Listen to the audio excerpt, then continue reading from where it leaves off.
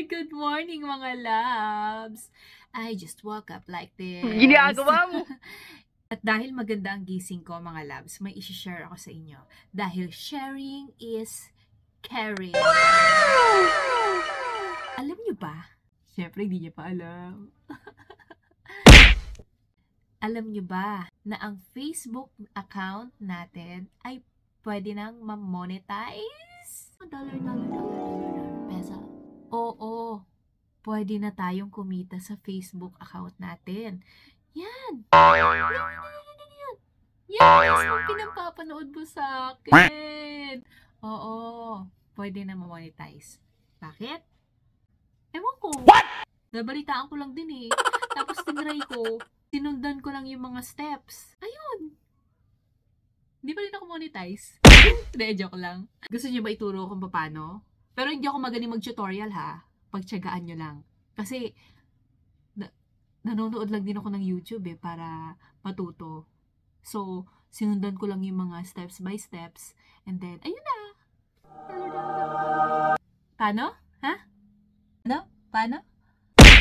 Ah, commercial muna tayo.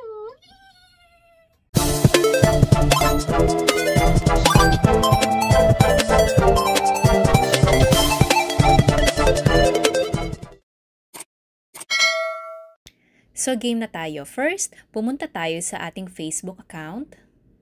Hindi po akin tong account na ito. Sa sample lang. Click nyo yung profile picture nyo. Yan, yan. Nakikita nyo yan. Add to story. Hindi yan. Ginagawa Ito. mo. Itong three dot na to, i-click nyo lang. At lalabas na yung blah blah blah na yan. Basta ang hanapin nyo lang ay is yung turn on professional mode. Yan. Click nyo lang yan. Click. Look. So, ayan. Kita nyo yung kalbo na yon? Ewan ko. Hindi ko kilala kung sino siya. Dito tayo mag-focus. Turn on. Yan. So, ito mga labs, syempre may mga ah, kailangan kang i-fill upan dyan, ganyan, kukumpletohin mo muna yan, syempre, bla bla bla. And then, balik tayo sa profile, and surprise! Meron na kayong C dashboard. Click the C dashboard. So, click with start level. Yan. Syempre, level 1 pa lang tayo. Then, go back. Yan. Welcome to professional mode. Click nyo lang yan. And then, makikita nyo na yan ang mga step by step na kailangan nyong i-accomplish. So, since hindi pa siya monetize, ganyan pa lang ang makikita nyo. Kaya papakita ko sa inyo yung monetize na Facebook na. Ito yon Sample.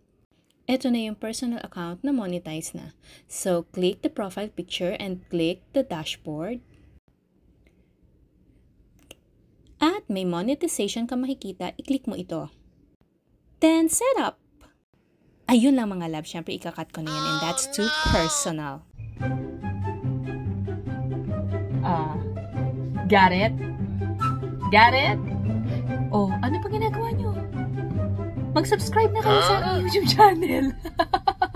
o hindi ah, don't forget to subscribe to my YouTube channel para updated ka sa aking mga videos na puro pampasaya at pampatanggal ng stress at pampawala ng anxiety sa buhay-buhay. Wait ah, hindi pa ako magpapapay. So, gawin nyo na. Now na. Oo, as in now na. Baka mamaya monetize na kayo, hindi nyo pa alam. Got it? Bye-bye! color pencil.